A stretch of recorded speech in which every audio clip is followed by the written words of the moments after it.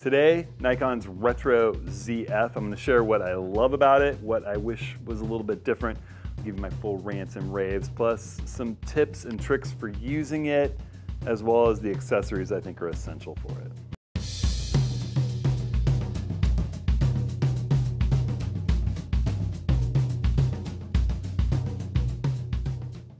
Everyone, it's Hudson. Welcome to this week's video. Uh, we're going to talk a lot about Nikon ZF, a controversial camera that I personally love.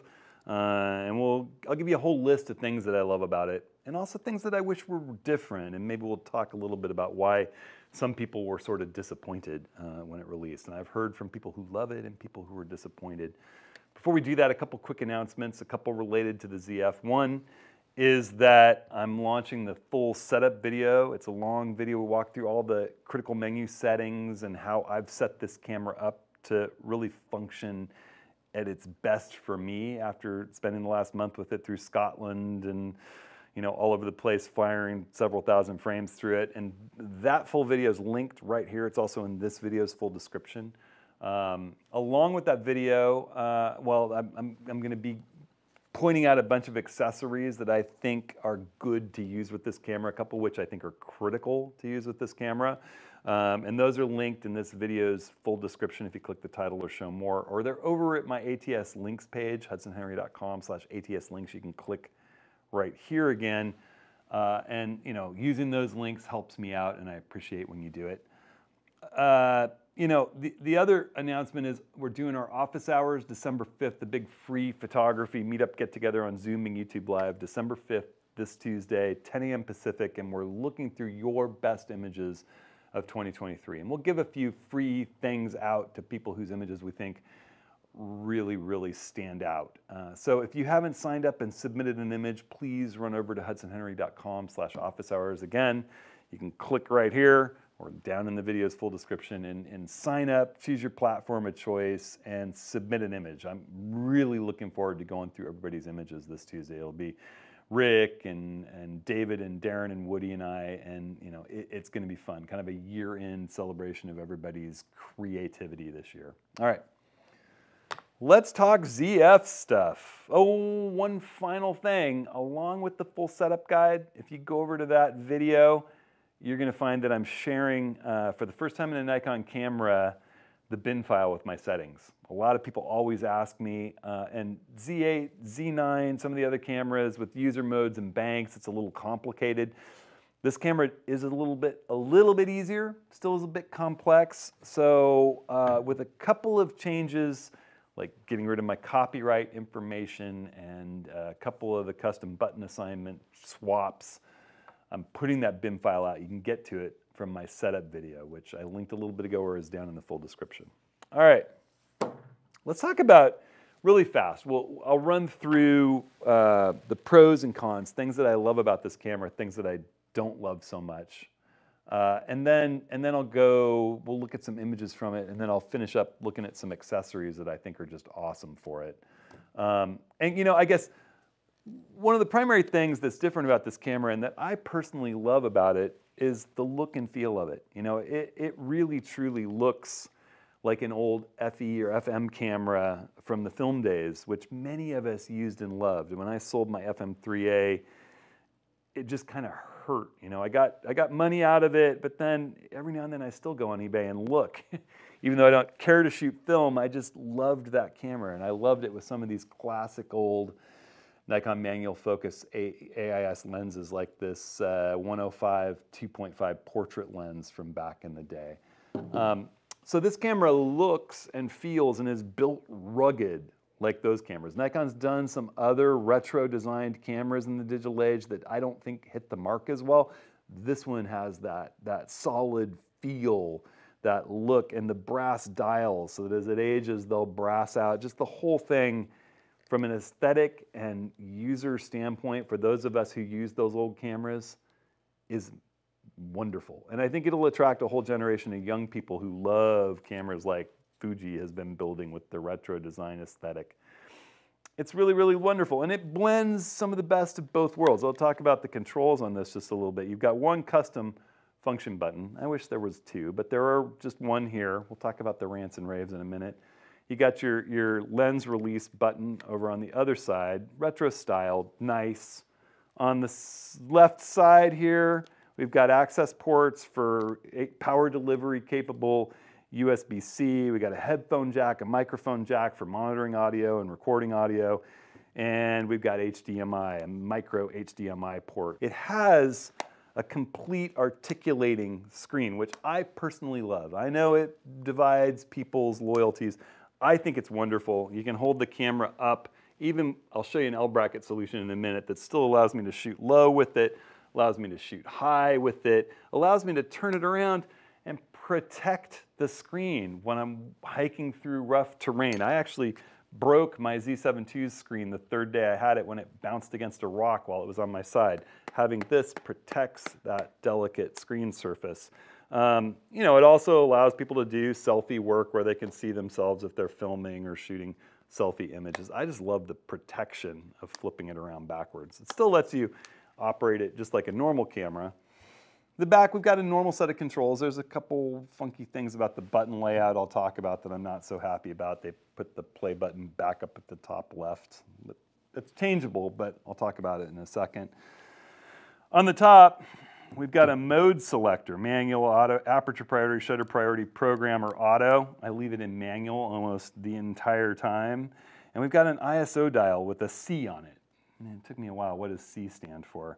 Um, made some funny jokes about that in Scotland. You can twist it at will once you're into the ISO settings, you know, 100, 200, and thirds of a stop, all the way up to 51,200.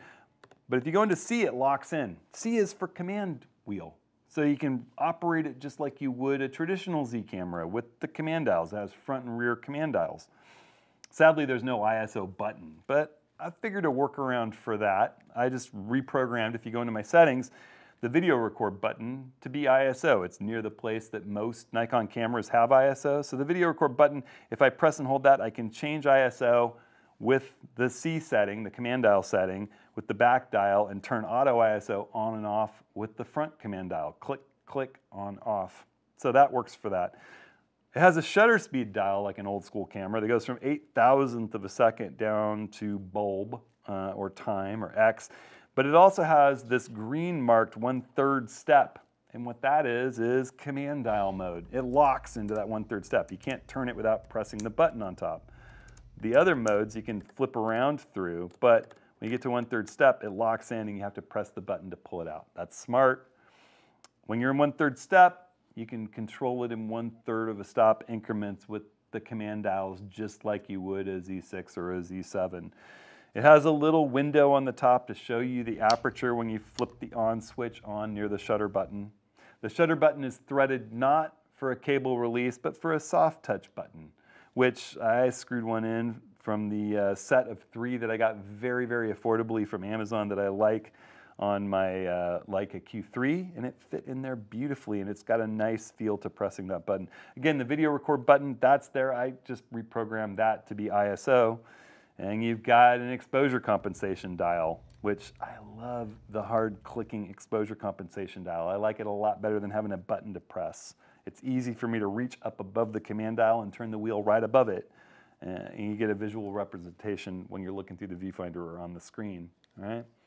So, you know, that's, that's the basic uh, control layout. As you can see, it's kind of a hybrid. You can control it just like you would a Z6 or a Z7 if you want. It's 24 megapixels, that's controversial. We're gonna get into, into the rants and raves now about it, really. I think the biggest thing that I, I wish is that it had a few more megapixels. Now, they temper that a little bit with some cool new stuff like pixel shift shooting. We'll talk about that in a second. Um, well, let's go through my list of things that I wish. Wish it was more than 24 megapixels. I think that's the biggest one. That's the most annoying one. It would be great if they had a new sensor to go in it. That being said, the Z6, Z6 II 24 megapixel sensor is a tried and true sensor that's amazing in low light. I set my maximum ISO to 25,600 and I get great results running denoise and Lightroom on images shot up that high at well-exposed images. Uh, it has no user modes or banks. I personally think it would be nice if it had a way to program in some user modes, even if it was menu driven. You could put them in the iMenu maybe that's something they could think about in a subsequent firmware version. It'd be nice just to be able to flip from action to still life. Um, you know, the banks are complicated.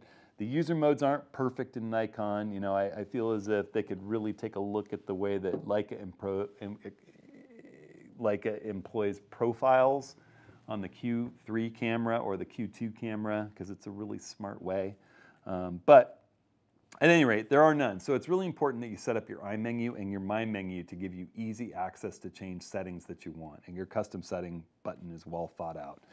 That said, I don't think you buy this camera wanting to shoot sports action and wildlife. This is a camera to use with your old lenses. I'll talk about why in a second when we get to pros.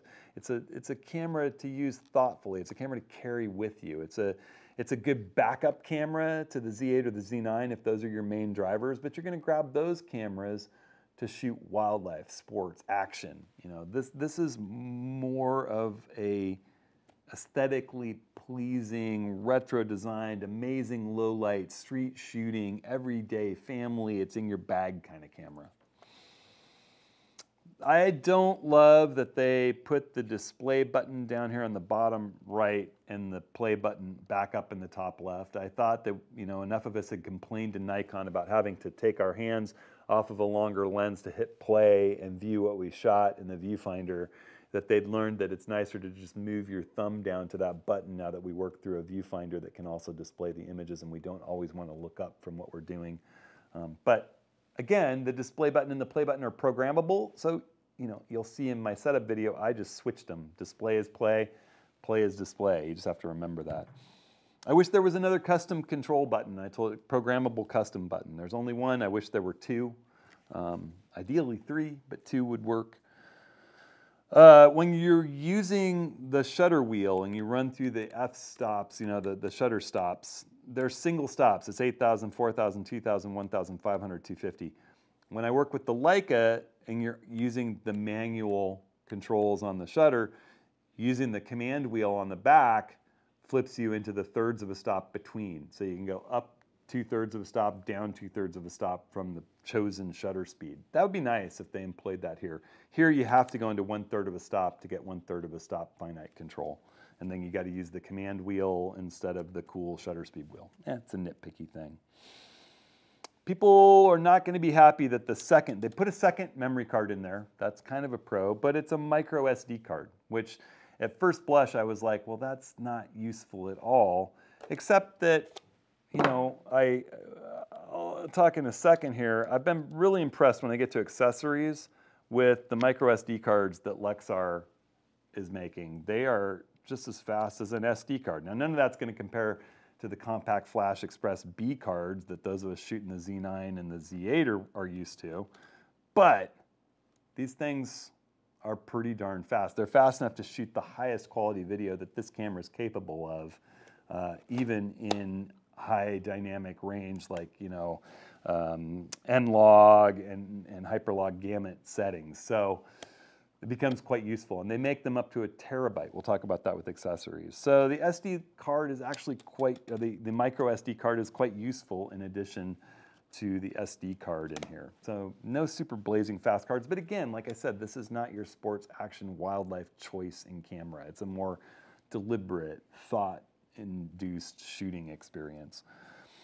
Um, there's a remote control for this that's quite affordable. Uh, it's, it's made by Nikon. It's Bluetooth connected and slightly and somewhat programmable, and it lets you basically run this camera from your pocket quite easily. My complaint is that when I connect to it, it makes me disconnect from the SnapBridge app on my phone since both are Bluetooth and it only has one Bluetooth channel. And I just think of the fact that my headphones at this point can connect to my phone, my computer, my tablet all at the same time and switch seamlessly without me going into menu settings and flipping. And I wish Nikon had been able to get it so that it automatically flips between the wireless remote when I turn it on and my phone so that I don't have to go into the, the, the, the settings menu and switch it.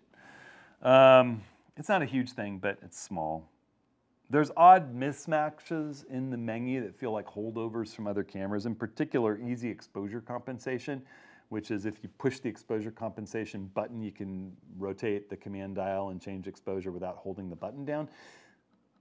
But, or even just use the wheel without, but it's kind of funny in a camera with a wheel is the way that you do exposure compensation on the top. So small. Again, 24 megapixels, 24 megapixels. But you know, 24 megapixels is, a wonderful low light machine. You know, if you take a look at the new uh, Sony A9 III, it's so good in low light and so fast handling because of that lower megapixel count. Um, and the other, the other complaint is that while on the Pro side, it uses the traditional EN EL15 batteries that we've been using forever now, since before the Z cameras came to market. The sad thing is that, once again, like they always do, they nuked compatibility with aftermarket batteries produced before this camera. So all those nice BM aftermarket batteries that work just as well as the Nikons and were a third of the price are useless with this camera. You either got to buy Nikon batteries or wait for new aftermarket batteries that come out and say ZF compatible. That's, that's just kind of happens every single time, but it's annoying every single time. Let's talk about the things that I love about this camera. I love the build quality, the feel and the look of this camera. It just, it's like that kind of thing I want to set on my bedside and, and look at and hold in my hand and shoot with. Um, I love its in-body image stabilization. This camera has the best image stabilization that's out there, period. It's, it's, certainly the best that Nikon's ever done. It takes it up a level from the Z8 and the Z9. It's eight stops of in-body image stabilization. And I have tested this at 75 millimeters. I handheld a waterfall shot that I'll show you shortly. Uh, and it, it came out sharp, everything except the water. And the funny thing is, I've shot a whole bunch at a half a second with waterfalls at different focal lengths, and I shot it in burst mode super carefully. And you would expect to get maybe one sharp frame from that, but instead maybe I get one ugly frame, you know, where it was transitioning, I wasn't holding as still as I should. It's quite good. The image stabilization is amazing. And it can key the image stabilization to wherever your focus point is on the sensor. So it's not like most in-body image stabilization and like all Nikon in-body image stabilization keyed to the center of the sensor. It can go wherever your focus point goes and focus the in-body image stabilization on that point. That's a first. Pretty amazing. Manual focus eye detect or subject detection, whether it's animals, people, or vehicles, it can pick up a subject while you're in manual focus mode. And you can choose whether that's frame wide or wide area large limited or wide area small limited. It'll pick up those eyes, it'll pick up those faces, it'll pick up those vehicles, it'll track them. And as you manually focus a lens like this Voigtlander 51.0 or like my old Nikon 105 2.5 from decades ago, when you get it focused, the square that's tracking that subject will go green so you know you've manually focused it. And if you program the OK button like I like to do to zoom in to 100% instead of resetting the focus point, I'll show you how to do that in my setup video.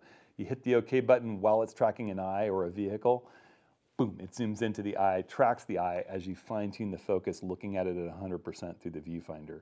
That's just crazy. That made me, the minute I read about that before I ever got this camera in my hand, I immediately ordered, reordered the Voigtlander Nokton 51.0 uh, because I loved this lens. It was just difficult to focus. It was better on the Z9 than it was on the Z6 II. On this camera, it's a dream. You know, I, I see someone's eye, I focus it in manually, I see the light go green, I shoot, I hit OK, whoop, all of a sudden all I see is the eye. I focus it perfectly, fire, and it jump, the minute I hit the shutter button, it jumps back out and I can recompose as I'm shooting. Boop, boop, boop. I'm getting so many razor sharp shots with people's eye razor sharp with this 1.0 lens wide open. Crazy, super cool. Plus, you know, if you throw a, an older f-mount lens on the FTZ adapter, it works great. Its autofocus is just fine with all of the modern Z glass or the F glass is designed to go with the FTZ adapter like this 105 1.4 that I love so much. You know, I worked with this camera with the Plena with all of my lenses in Scotland. I didn't take another camera except the, the Leica Q3 with me to Scotland and I loved using it. I love the dedicated black and white mode. It's got a lever here that you flip. I forgot to mention that when I was talking about the controls. Between It's outside the shutter speed dial. There's a little lever, and when you flip it, you go from video to stills to black and white. And it has three different black and white profiles. One is low contrast, one is normal, one is high contrast. I like the normal. Whichever one you were in last, that's what it flips you into. The last black and white profile active is keyed to that black and white mode on the switch. And all of a sudden, your viewfinder and your images are in black and white profile. And if you shoot black and white raw files, you still have all the color data in there, but when you bring them into Lightroom, it'll activate that black and white profile and it will look like it looked like in camera as you shot it. It's fabulous. The true flip screen, I love that. I know some people don't. The biggest thing I love about it, one, with this camera, it completes the retro look when it's closed. Two, it protects the screen. I'm not damaging the screen. When it's the things bouncing up against my side and rough trails and things like that or surrounding my bag, it's nice to have that screen hidden. You know, I can always deploy it. I also, like I said, you know, I can be out shooting and I can have, it's so easy to position wherever I want while, while I'm working. I love that. You know, it's not so much about the selfie mode for me, it's about just the flexibility of using that thing. And I'll show you when I get to accessories how it works with my chosen L bracket system. Uh, 3D area with subject detect. This has the same processor as the Z9 and the Z8. It's fast and it has 3D area subject detection and it does all the wildlife and animals just like the Z8 or the Z9. It's, it's a wonderful focusing machine and that 3D detect lets you point it to which of the subjects is important and it'll look for that subject's head, eyes, torso. Um, insane low light autofocus. Just insane low light autofocus. Now, the Z8, the Z9, the Z6 II, I can focus a star in the dark, so what improvements needed, but this camera even improves upon those and its low light capability. Um, crazy, and it has the starlight view and the red overlay view so that you can not burn your night vision out. Everything's displayed on the camera in low intensity red to save your night vision. And you can compose scenes in Milky Way shooting conditions using the starlight view. So all the same kind of benefits that you get in the Z8 or the Z9 with the insane low light sensor from the Z6 and the Z6 II. And that second base ISO level of 800, which improves everything doing Milky Way and, and, and night work. Uh, and finally, the fact that they even went to the level of detail of making these dials, the exposure compensation dial, the shutter dial, and the ISO dial out of brass, so that as this camera wears and ages, the brass will get exposed it's going to shine gold through, which is one of my reasons for choosing a gold, a brass colored soft touch button um, to begin with. All right, so those are my pros and cons.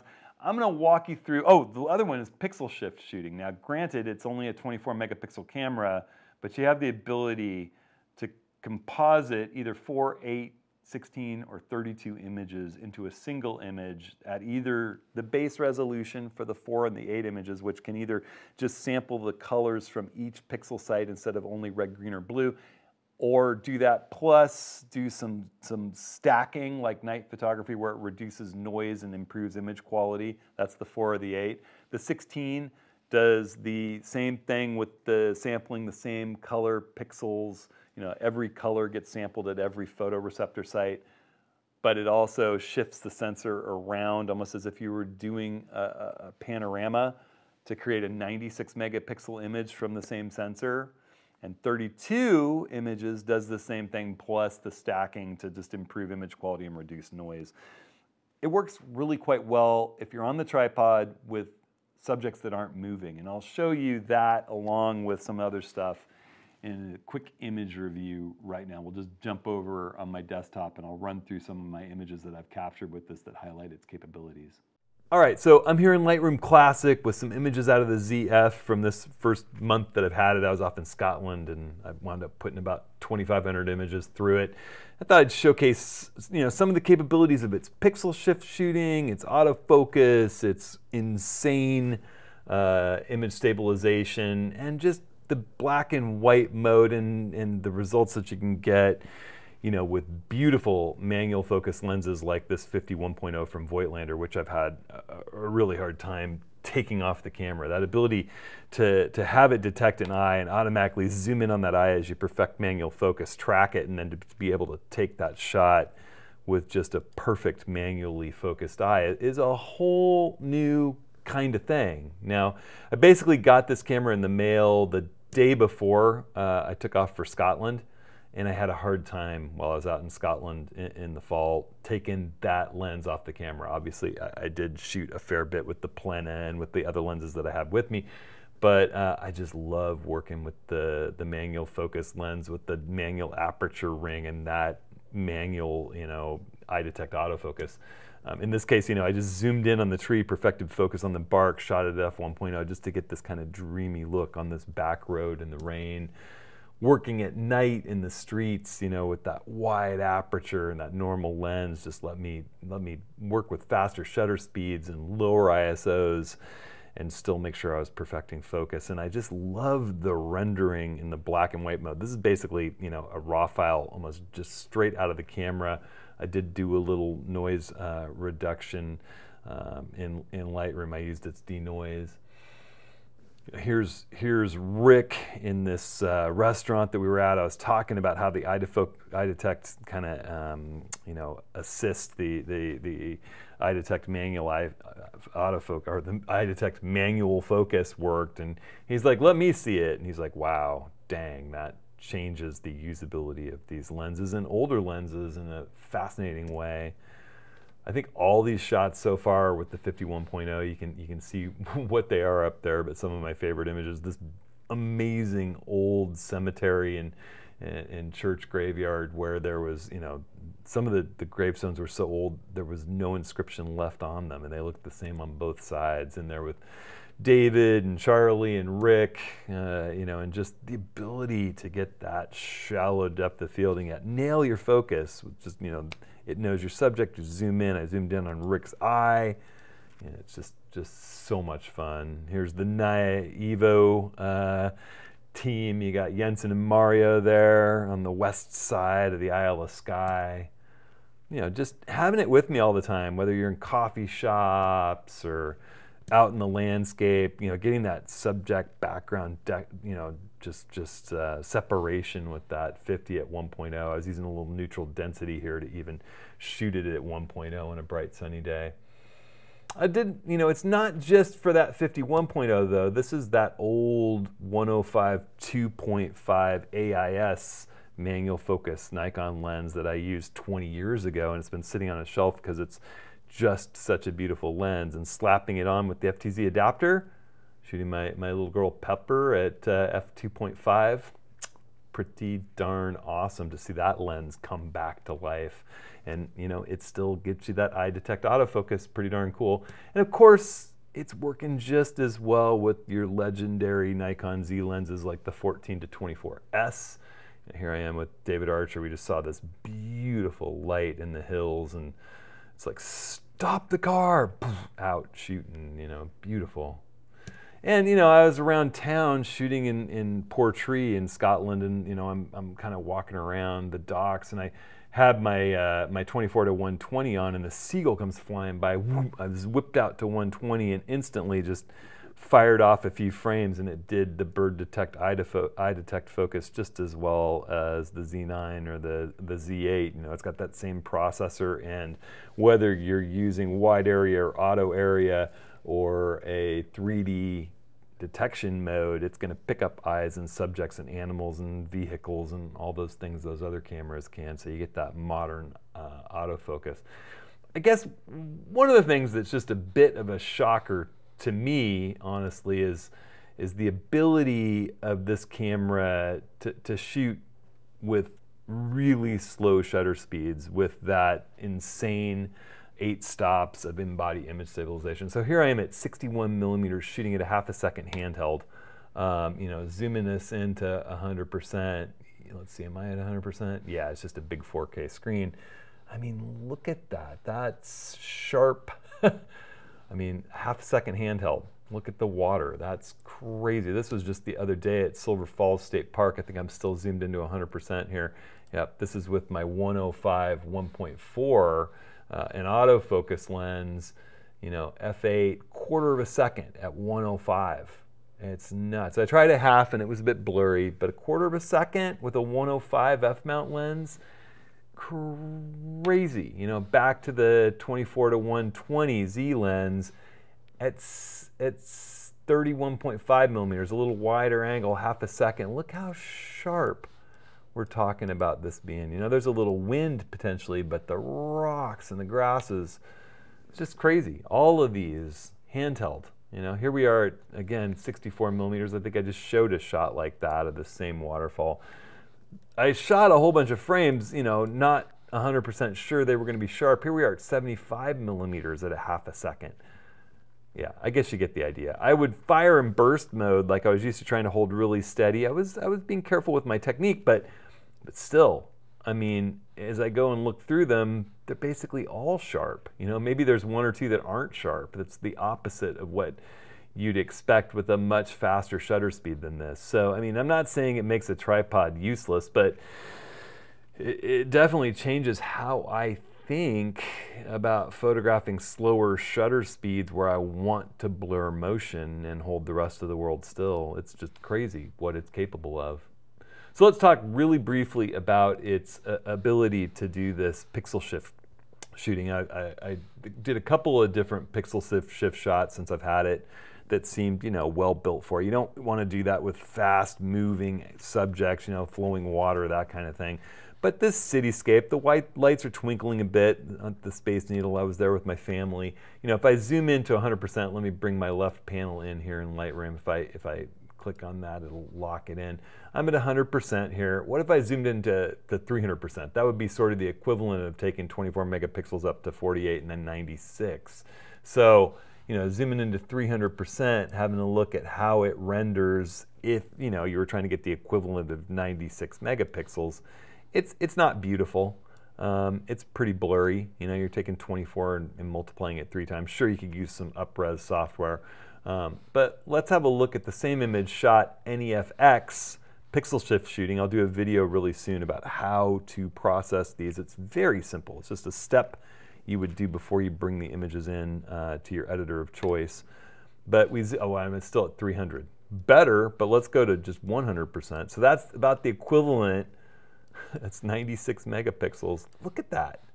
Um, I'm impressed. This was shot with 32 frames, so it's sampling uh, every pixel in the camera with uh, each red, green, and blue, and then blending, you know, shifting the pixels just slightly and building a 96 megapixel image from a 24 megapixel sensor. That's pretty nuts, okay? Again, you know, let's just look at that one more time. What was it like taking the regular frame up to the equivalent of about 96 megapixels? That just doesn't look the same.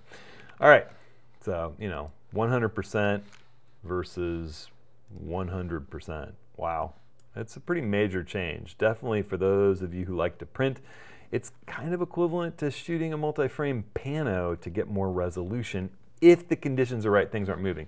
You know, here, here's one more. This is really the first one that I did. This is on the Isle of Skye in Scotland.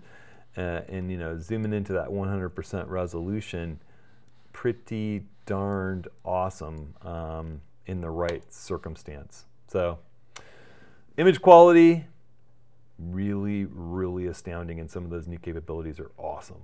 All right, so let's talk really briefly about, uh, well, we'll talk uh, about briefly about each of these accessories that I think are just critical. So when Nikon designed this, I'm sure people at Nikon were like, this grip is too small if you're using bigger lenses. And by bigger lenses, I mean even this heavy Voigtlander 51.0. It's not a light lens. And having this little bump for a grip isn't a secure feeling walking around with this camera if it's not tethered to you.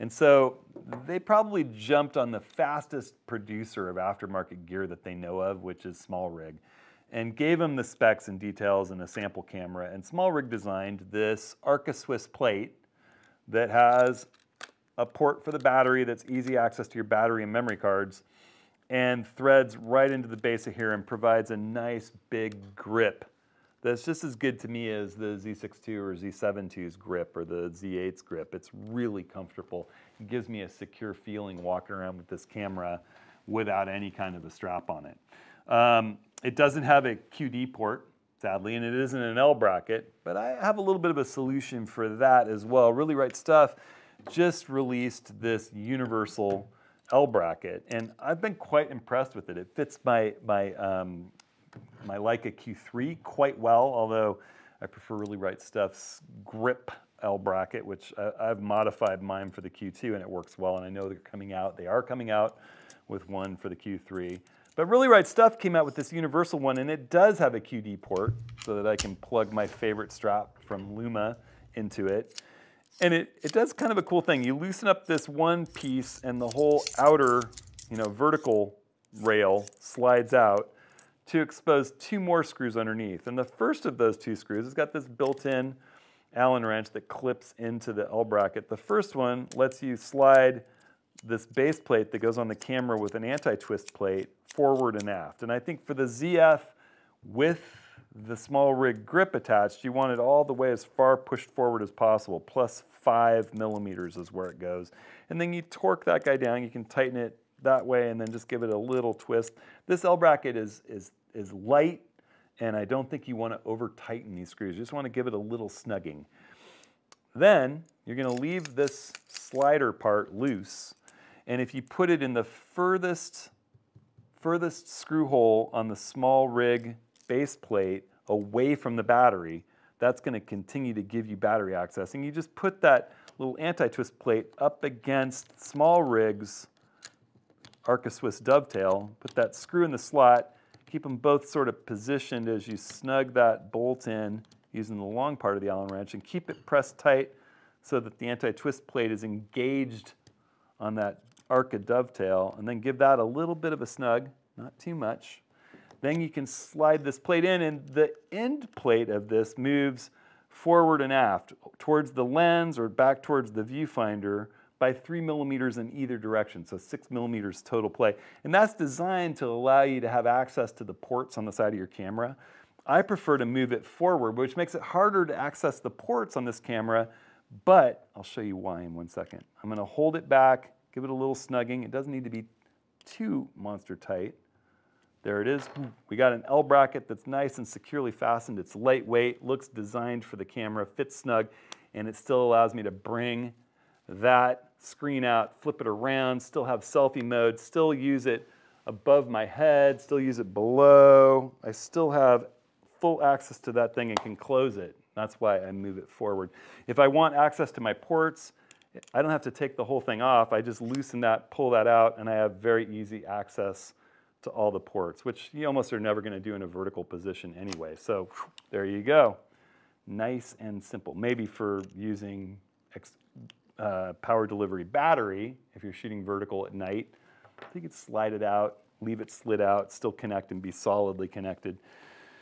Speaking of which, I think a power delivery capable battery bank is a great thing to have with a camera like this that can charge its battery while you're using it as long as you have a power delivery. It has to be marked PD. I love these Anker 20,000 milliamp bat, uh, battery packs. You can charge the camera a couple times. You can run all night doing Milky Way work with the LCD on with this plugged into the camera. And it has a second port to run a lens warmer if you need it, if you're in that kind of weather conditions. So that's an accessory I highly recommend. Again, all these accessories are linked in this video's full description or over at my ATS Links website. I think the Bluetooth remote control for this camera is really nice, you know, particularly if you're doing longer exposures uh, where blur could be a factor. You can down in that tenth of a second to, you know, five seconds where shaking the camera by pushing the shutter matters you know, having a little remote activation is great. Plus there's other uses where it's just really nice to have. And it's Bluetooth and has pretty good range. Once you connect, it's really well connected. Again, spare batteries. Thankfully, most of us have these laying around from all the other Nikon batteries we've used. I think having some retro lenses are nice. I'm not a huge fan. I mean, I, I like this Nikon 28 2.8. It's a nice little lens. It looks retro styled. It looks nice on this camera, but it has no aperture ring for that third level of control. I love some of Voigtlander's lenses. I like the 40, uh, I think it's a 40 1.4 or 1.2. It's a great lens. But this 50 1.0 Nokton is super, super special. I'll take this lens over the Nikon Noct, the, the, the 58.95. Um, this lens has a special character, a special feel. It's wonderful to focus with. The aperture ring on the front feels precise and wonderful. The focusing is great and accurate.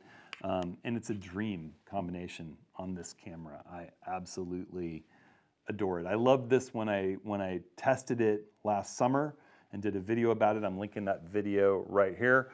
Um, but I love it even more on this camera with the manual focus subject detection and ability to zoom in on eyes so easily.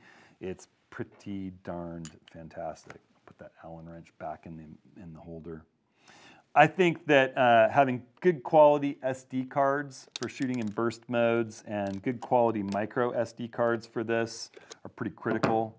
I'm using uh, a Lexar Pro uh, Gold card. They're 300 megabytes per second read speed, 260 megabytes per second write speed. Now, granted, that's not competing in the slightest with the um, with the CF Express B cards that I use in my Nikon Z9, but it's fast enough for this camera. You know, again, you're not going to be shooting 300 frames at 30 frames a second with this camera. It won't do it. It's more of a 9, 10 frame a second camera. Um, but it's more than sufficient for the stills and video work that you're likely to do with the camera with this intention. Um, and I've been blown away by Lexar's micro SD cards. They sent those these to me to test, and I've been really impressed with both the gold and silver uh, Pro micro SD cards. The gold shoots at 280 megabytes, reads at 280 megabytes a second, and writes at 180 megabytes a second. And the silver, which I have in here, I have a one terabyte silver micro SD card in here, uh, reads at 160 megabytes per second and writes at a not that much slower 130 megabytes per second. So you go from 130 to 180 with the gold. Um, the gold is definitely a faster reading card when you're bringing images and video off of the camera. But the silver, I've tested it and it was good at 10 bit, 4K, 30 frames a second, good at, which is the full FX sensor read. Um, it crops down to DX mode to do 4K uh, 60. And I tried that. I tried it all both in 10-bit standard definition, in Hyperlog Gamut, in Nikon N-Log. It can handle any video this can shoot, including the silver micro SD card. So suddenly, if you're using this at all for video, that micro SD card slot can be a savior. It, it, it, really soaks up all that video data and leaves your SD card free for you to do the, the shooting of stills and high speed shooting that you need to do. So if this camera shot 8K, it might not be capable, but it does beautiful 4K video, beautiful 4K video. I really never shoot 8K video. Um, and it does everything I need it to do for video on micro SD. So having that second slot is actually handy. And I'll link those cards along with the other accessories. Um, as I said, you know, I love my Luma strap for all my cameras, particularly for this camera and that really right stuff universal L bracket gives me the QD connection port that lets me plug my favorite strap from Luma Labs right into that. And then, you know, finally, uh, filters. I'm to pull my, my little uh, Kase MCUV filter off there. I spin this, um, it's a 50, which one is it? I think this particular lens is 62. It's a 62 millimeter filter thread. So I have my 62 to 82 millimeter adapter and then my Kase 82 millimeter filters fit it really beautifully. Silver Revolution filter is the polarizer. It just spins on the magnetic mount nice and thin. And I've got the color coded, you know, 3, 6, and 10 stop neutral density filters. They just lock in there. And I love the fact that they take a standard 82 millimeter cap. So it's as easy to remove the cap as just pinching it. All of a sudden the pinch cap's off without removing the filter as well. So you can stack and match at will with Kase's 82 millimeter filters. Perfect blend for this camera. So there you have it. Um, those are the accessories that I've been using with it. I think that the grip from SmallRig is absolutely essential if you're going to enjoy holding this camera and have a secure feel with it. Um, I think that Really Right Stuff's L bracket pairs with that quite nicely if you're going to do vertical tripod mounted work. Um, and also gives you the QD port that's nice to have. Um, so that's a great thing to throw on there.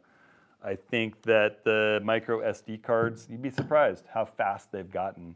Um, and these Lexar ones have been great. Also, the Lexar Gold SD card I'm using, nice and fast, and it's been great. Hasn't it's it's given me everything I need with this camera.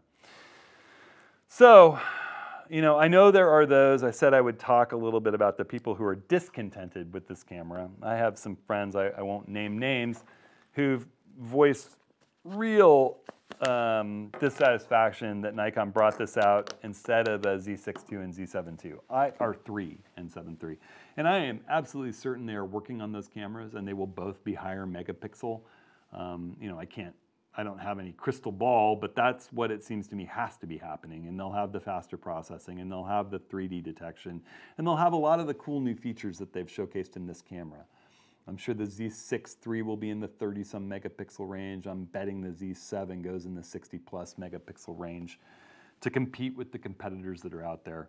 Um, this camera is just different. You know, if if you really don't like dials and controls, this camera is, you know, still can be can be operated the same way, but it may not feel like what you want. If you want the one camera to rule it all, if the Z6 II is your camera and you really want an update, or you holding onto a Z6 and you really want something that pushes that envelope to a new space and you see all the features integrated in this and you're like, I don't want to have to buy an accessory grip and put the wheels into command dial mode uh, and deal with the same sensor as the Z6 II, well, you know, the wait is going to be just a little bit longer.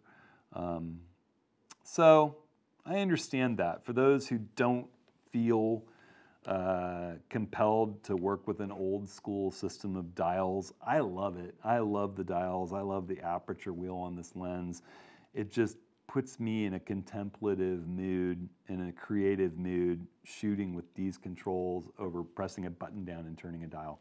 I love it. I love the tactile feel, and I love the way this feels in my hand, and I love the way it looks sitting on the desk. So there's that. Um, you know, I, am sure Nikon will be coming out with the cameras that you're all waiting for. It's just obviously going to be not this year. Um, so just stay tuned for all that. And of course, I can't wait to get them in my hands and test them when they get here. But for right now, for those like me, this little guy is pretty sweet. All right, everybody, thanks so much for watching. I hope you're all staying safe, staying creative, enjoying holiday season, good food, family time. And uh, we'll see you next week.